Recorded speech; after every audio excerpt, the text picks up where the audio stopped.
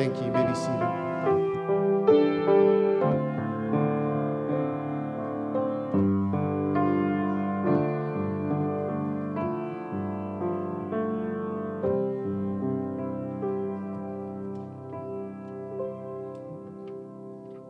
Happy Sabbath, church. It's another wonderful and beautiful day to uh, come together as God's children and uh, hear a word from Him. Uh, before we begin this morning, I'd like to open with a word of prayer. Uh, Father God, we thank you for all that you have done for us. We thank you for this day.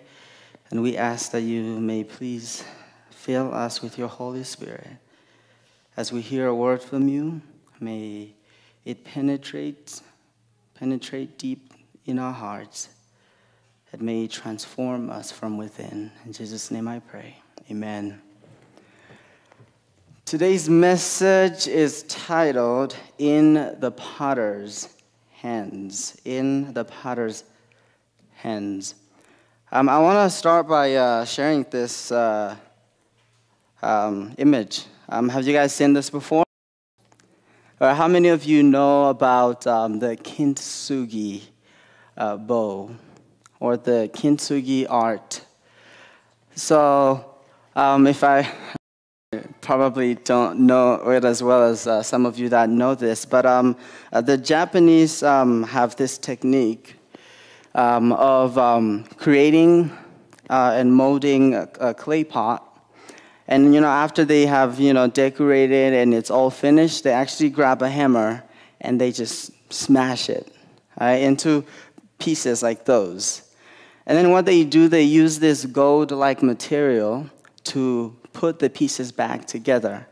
And in this way, actually, the bowl looks uh, a lot better. I don't know, to some people, I guess it might not, uh, but I think it looks, it looks a lot better. And um, also, it's more stronger uh, with the material that they use to hold the pieces that were broken uh, back together.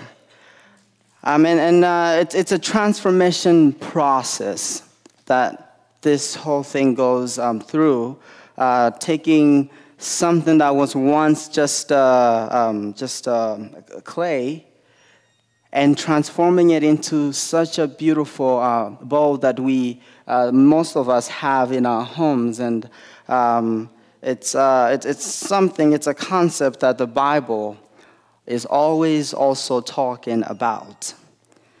The concept of transformation is spoken of very often in the Bible. Um, as a matter of fact, uh, God's desire for each one of us us, according to Romans 12, verse 2, is that we may be transformed by the renewing of our minds. The Bible tells us, Do not be conformed to this world, but be transformed by the renewal of your mind. Testing, you may discern what is the will of God, what is good and acceptable and perfect. To be transformed is to experience a thorough and dramatic change in form and appearance. A perfect example of this is a caterpillar uh, being transformed into a beautiful butterfly. Uh, many of us uh, see butterflies, and uh, as kids, uh, kids uh, see butterflies and like, oh, I wish I could be a beautiful, as beautiful as a butterfly, but they don't understand what the butterfly has to go through in order to become the beautiful butterfly that we see and love and enjoy watching. It goes through a transformation process, a complete breakdown of what it used to be, and being remade into something new. Some of us may think about that process and maybe think, man, that's, that must be painful to be completely broken down and being remade into something else. And maybe some of us feel like it's probably uncomfortable too. But the reality is that we go through transformation process all the time. At least that's what God desires to do for us and with us. I used to, uh, we, when we went to school, uh, when I was back home in Africa, uh, we used to pass by a potter's house. Uh, there was this uh, house, uh, so background story to this is, um, so I've talked about the two ethnic groups um, that, that, um, that are back, that, you know, existed, that lived in the place that I, I grew up in, the Hutus and the, the Tutsis. But there was a third ethnic group that it's not talked about mostly, and that is the Twa. T W A, Twa. And uh, their profession was to make pots out of clay. That's what the most of, of them, that's what they did. And so, so this uh, potter's house that we always passed by, it was, it was occupied by uh, Twas. Uh, and they were constantly just making pots. And uh, so there was this, um, this, uh, I want to say, um, something that the kids made up. Uh, as we went through, uh, as we went past this house, they said that um, if you were to whistle while they're making pots inside, the pots would break. And I mean, that's very intriguing and, and, and uh, exciting for a kid to hear because as soon as you mention that, guess what we want to do? You want to whistle, right? Because I mean, how cool would it, would it be to just whistle and see all the pots inside break, right? And uh, I mean, we were, we were, I was a kid, and uh, uh, of course we would dare each other because if, uh, if, if the pots that these people are working so hard to create uh, break because of some uh, stupid kid outside whistled, guess what they were gonna do? They were gonna come after us. And so we, we didn't just whistle ju- just for the fun, uh, just, uh, just to do it. We actually dared each other because we were scared and terrified. And so um, I remember this one day, uh, I think uh, some of the kids that I was with um, just dared, I think, one of us to whistle. And uh, the, the goal was to whistle and just take off running. I don't actually remember what ended up happen, happening. Uh, but um, it was just interesting to just just, I don't know, realize that, I mean, if it was true, I mean, just imagine how devastating it would have been for, you know, these uh, potters inside uh, to just have worked so hard, only to just, uh, for a kid to just destroy all the work that they hadn't done. In the book of Jeremiah, uh, chapter 18. Uh, for those that are reading the Bible with me, uh, actually, we just finished reading Jeremiah 18 yesterday. And uh, so you might have, um, you may have some insights on what we're going to talk about today. Um, but Jeremiah is invited to go to a potter's house by God. God uh, asks him, Hey, I would like for you to go down to the potter's house. There's a message I have for you. And this morning, I would like to invite you to come along with me as we go down with Jeremiah to the potter's house and hear the message that God has for us. Jeremiah chapter 18.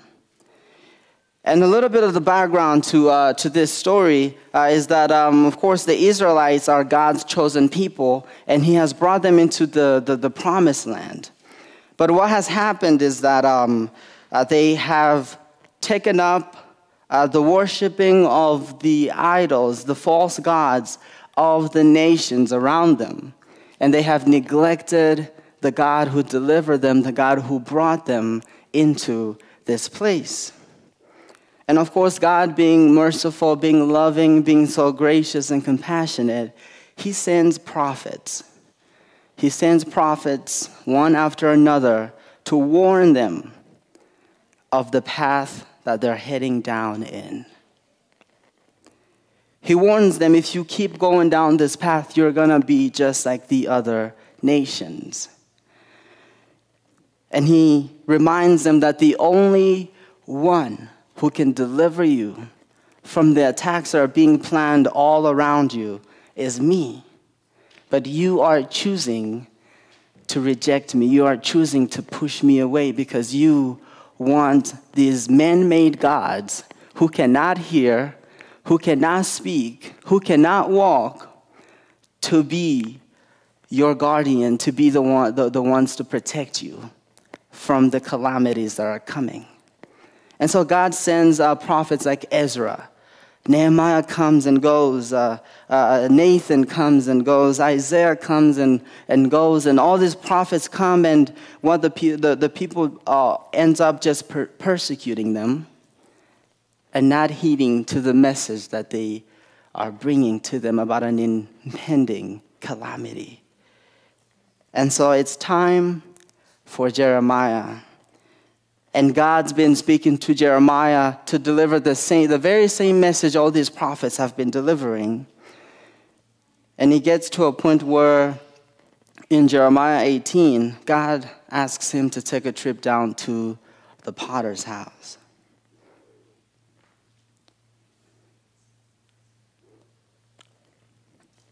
And the message that God sends through Jeremiah is for God's people to repent, God's people to return back to Him.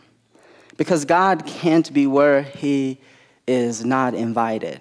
In fact, in uh, Revelation uh, 3:20, God tells us, um, sorry, in uh, Revelation 3:20, behold, stand at the door and knock. If anyone hears my voice and opens the door, I will come into him and eat with him and he with me. God is a gentleman, stands at the door and just waits for us to invite him in our house, our lives. And that is what's happening in, in Israel. God can protect them, but they don't want his protection. God is not choosing to turn his back on them, but they have chosen to reject him and to send him away, far away from them, because they don't need anything from him. They can take care of themselves. But imagine, imagine what would happen if we invited God back into our society. Imagine what would happen if we invited God back into our school systems, our governments. Imagine what would happen if God was actually welcomed in our workplaces. Imagine what would happen, how it would look like if God was actually in our homes. And it's sad to even say this last one, but imagine what church would be like if God was actually the center of worship. I've seen, I've, I've seen videos um, online and on Instagram of pastors, uh, uh, they call them celebrity pastors, whose goal is to bring all attention to self. And it saddens me to see the, the millions and the thousands of people in the pews just listening to this person not giving a message that, that points them to Christ, but a message that, is, uh, that, that brings the glory to them, to themselves. And I just, I, just, I just can't help it but imagine what it would look like if we actually invited God back into our churches all over the world. God wants to be in all of these areas and take control. But we must allow Him in before He can do all these things that He desires to do. And in the, in the time of Jeremiah, Babylon is actually on the verge of attacking. They're planning to invade Israel and Jerusalem. And Jeremiah's message is for God's people to repent and come back to Him so that he can deliver them. And so he sends, he sends uh, him to the potter's house. And we find this story in uh, Jeremiah 18, uh, verses 1 through 6. Uh, it says, uh, The potter and the clay, it's the, uh, the title of the passage. Word That came to Jeremiah from the Lord Arise and go down to the potter's house, and there I will let you hear my words. So I went down to the potter's house, and there he was, working at the wheel. And the vessel he was making of clay was, was spoiled in, in the potter's hands, and he reworked it into another vessel as it seemed good to the potter to do. Then the word of the Lord came to me, O house of Israel, can I not do with you as this potter has done? declares the Lord. Behold, like the clay in the potter's hands, so are you in my hands, O house of Israel. as we are here down at the potter's house, I, I want us to, to, to, to recognize uh, a few things. There are three lessons that I want us to take away from, uh, from our time here at the potter's house. You may notice other lessons. Of course, every God speaks to every individual in here uh, uh differently and in a unique way. But uh, together, uh, there are three lessons that I want us to, to walk away from this house. And the first one is the potter chooses and separates clay from any impurities. If you have ever uh, worked with uh, uh, clay, uh, if you've been, if you've made pots or anything from clay, uh, you notice, you, you, you recognize that you have to, to select the kind of clay that you want to use.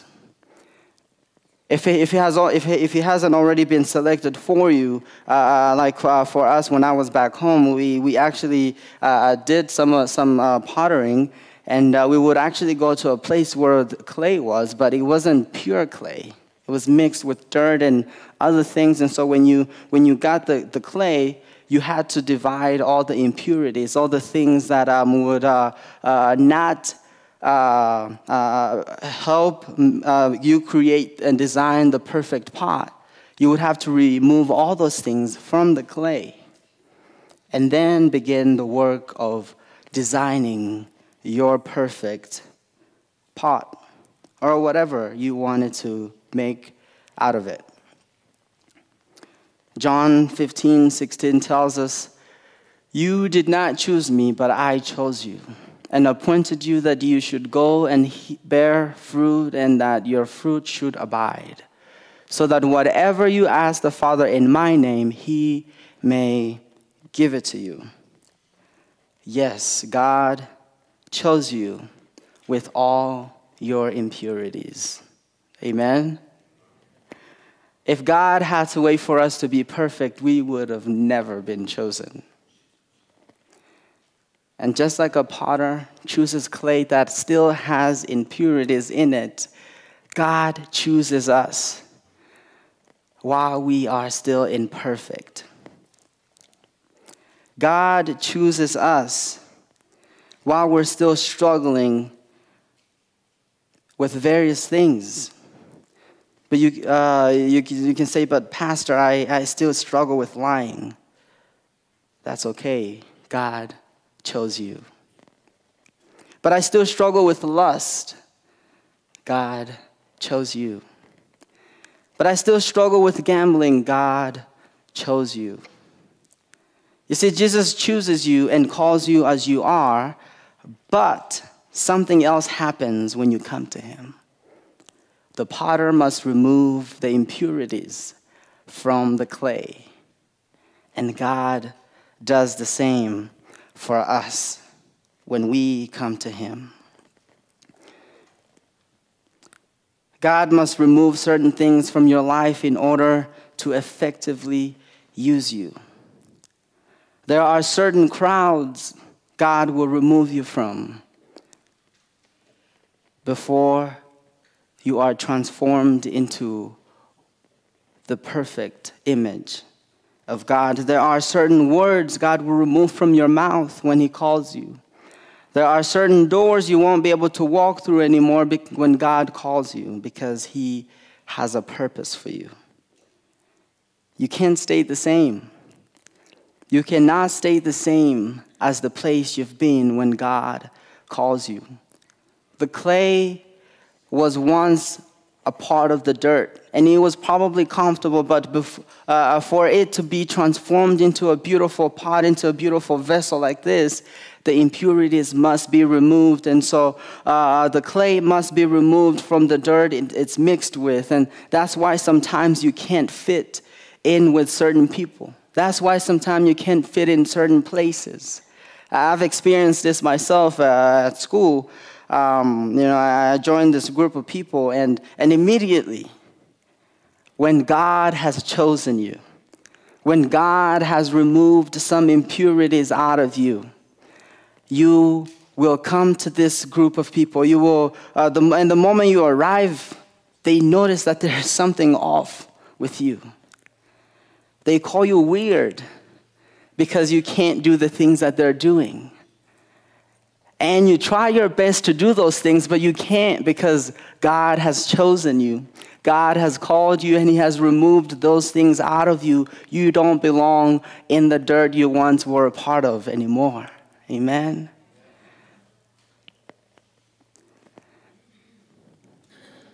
And so the people will recognize that you don't fit and they call you names, and uh, all that is because God has called you to a higher purpose. God has called you and have changed some, th- some things about you, and there's a distinction. There has to be a distinction between you and where you used to be. The second lesson that we are to learn from this, uh, this uh, experience in this visit to the potter's house is that transformation takes place on the wheel. Transformation takes place on the wheel. You know, we, we all love to hear that, oh, God has a, has a plan for you. And you're like, we're like, yeah, God has a plan for us. That's awesome. We all love to hear that God has a, has a beautiful destiny for us, and we're like, yes, a beautiful destiny for us. That's awesome. And we love to hear and read and sing about uh, there's a home in glory land that outshines the sun. And we're like, yes, that's where I want to be. But we forget that in order for any of this to happen, we got to get on that wheel first we have to allow God to place us on that wheel. You know, the Israelites um, thought that they could have all the, the, the promises that God had promised them without God. The Israelites thought that they, they could get to the promised land without God. They thought that they could live uh, in the land of, uh, and enjoy the milk and honey that God had promised without God. But God constantly reminds them that these things aren't independent of me. These things uh, uh are because of me. They come with me. It's a complete package. In order for you to experience the purpose, that I have for you, in order for you to, to, to, to live in the destiny that I have for you, in order for you to, to experience the peace and all these other things, you have to have me. It is not something that you can do outside of me, it comes with me. It is who God is.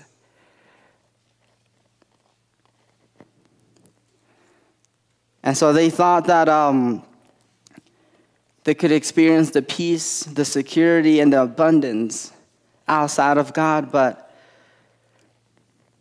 God reminds them that it's a package deal. You have got to be willing to get on the wheel and, and, and allow God to transform them so that they're fit to live in the destiny and to experience the, in the and, and, and to walk in the purpose and experience all the good that God has for them. And another thing to recognize as we're still here is that the wheel is spinning. The wheel is spinning. And the clay is on that wheel, and the potter is working on the clay, transforming it into the beautiful vessel, the beautiful pot that He desired for it to be. Sometimes we experience things spinning in our lives. Sometimes we feel like our marriages are spinning. Sometimes we feel like our relationships with our children are spinning. Sometimes we feel like uh, uh, just uh, just our, our work, uh, you know, our workplace with uh, with uh, the, and the relationships we have with our co-workers is spinning out of control. But I just want to remind you that while you are on that wheel, and while the wheel is spinning, while it seems like your life is spinning out of control, the potter is working on you. Amen. The potter never stops working. His hands are moving and shaping uh, the, the, the, the, clay into, into a design that is beautiful. But while he's doing that, the wheel spins.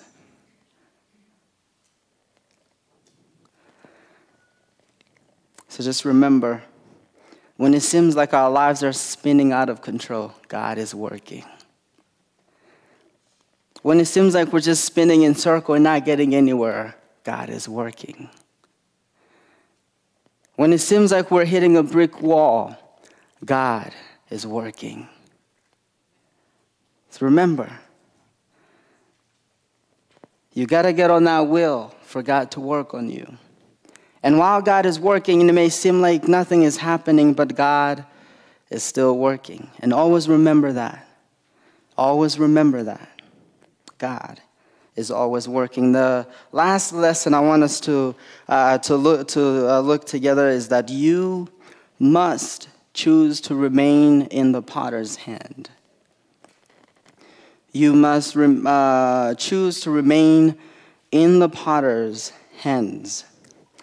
Uh, there's something interesting that, uh, that happens uh, as Jeremiah is watching the potter. It says that the pot that he's working on gets marred or uh, it gets um, deformed, uh, and, and, he has to, to, to, to crash it down and remake it into something new. That's interesting to notice that even when we are in God's hands, when God is working on us, sometimes we are the pot is going to get deformed a little and God has to crush it. Why does that happen, actually? Why does that happen? You see, when a potter's working on the clay, uh, sometimes they, uh, they feel as if they have removed all the impurities. But as the wheel is spinning and their, you know, their hands is you know, working around this, this vessel, uh, sometimes there, there are some impurities, maybe uh, a rock that was not removed out of this vessel. And, and, and it creates, um, it, it creates complication. The potter cannot create what he intends to create if this rock is still in the pot, in the, in the clay. And so one or two things happens. The potter removes the rock, but when he removes it, he has to start all over again. He has to crash that thing down and recreate something different, something new out of this, uh, the, this clay.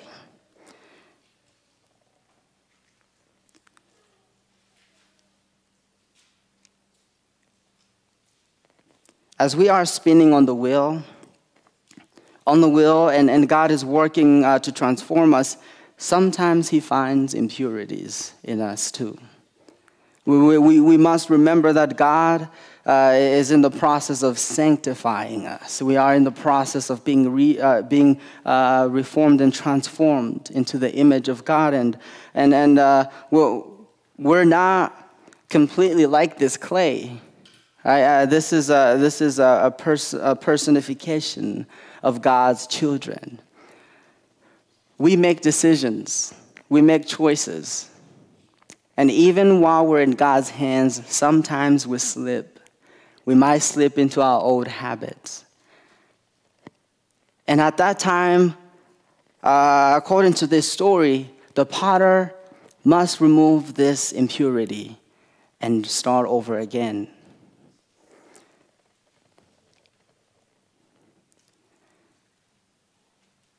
And God finds impurities all the time when He's working on us.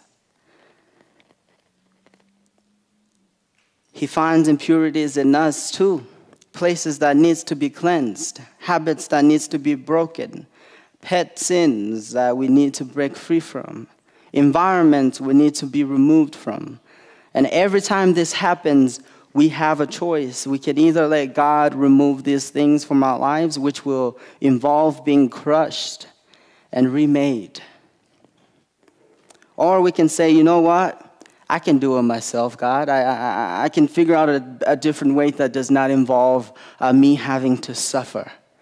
I, I, can find a different way that does not involve me having to give up so much. I can find a different way uh, that does not involve me having to sacrifice so much. When we are in the potter's hands, God calls us to sacrifice some things. Like we saw before, the, the clay used to be a part of the dirt. And sometimes uh, that old desire to be where we used to be might come back, and we might actually uh, find ourselves there again. But God tells us that when that happens, He needs to keep working on us. He needs to remove those things. He needs to continue transforming us into the perfect image of God. The thing is that if God doesn't do it, it can't be done. The clay can't make itself into this beautiful vessel. The clay cannot put it, uh, go on the wheel and form itself into this vessel. God has to do it. The potter has to do it. John 15, 5 tells us that I am the vine and you are the branches. Whoever abides in me and I in him, he is he it is that bears much fruit, and for apart from me you can do nothing. John 15, 5. You can try all you want to walk through those doors in your life that you see before you. But if God isn't the one that asks you to walk through those doors, the only thing that you'll find behind those doors are disappointments, heartaches, and confusion. You can try to fix your marriage on your own, but you only feel like you're putting bandage on a wound, on a wound that is not healing. You can try to raise kids your way, but it'll backfire eventually in your face when you find out that they weren't grounded in the morals and values that comes from God.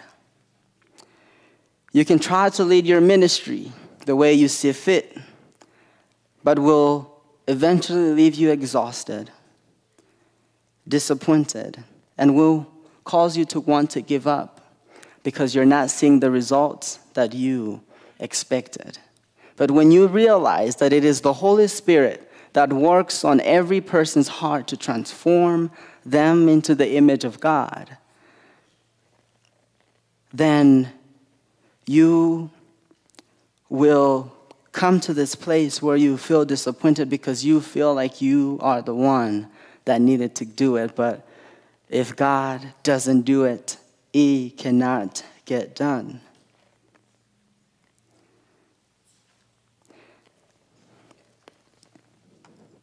I want to read uh, Jeremiah, the same chapter 18. Um,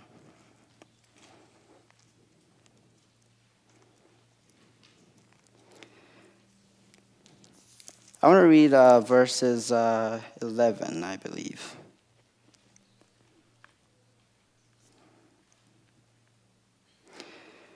Now, therefore, say to the men of Judah and the inhabitants of Jerusalem, Thus saith the Lord Behold, I am shaping disaster against you and devising a plan against you. Return everyone from his evil way and amend your ways and your deeds. 12. But they say, That is in vain. We will follow our own plans and will will everyone act according to the stubbornness of his evil heart. We will follow our plans, and will everyone follow after the desires of their evil heart. Many times God calls us.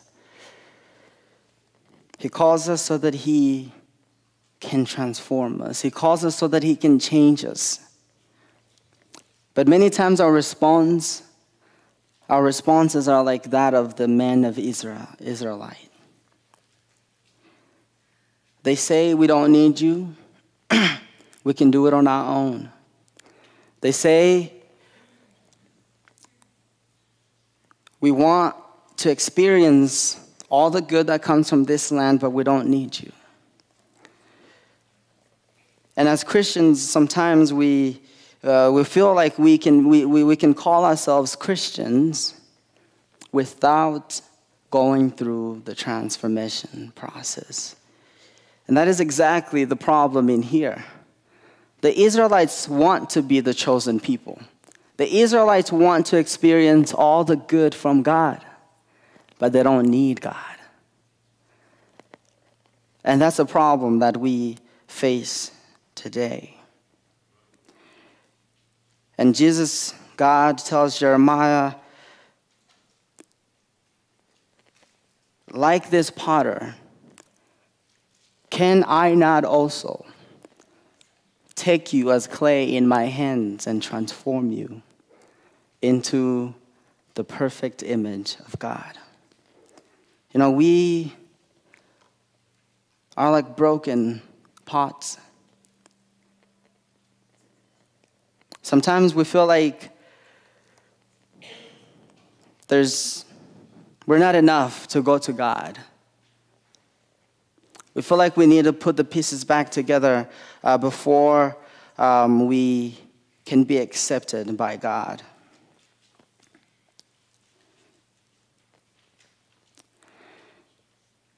But God, like the potter, even when the pot is broken, takes it back, smushes it back together, and reform, recreates something that is far more beautiful than before. Amen?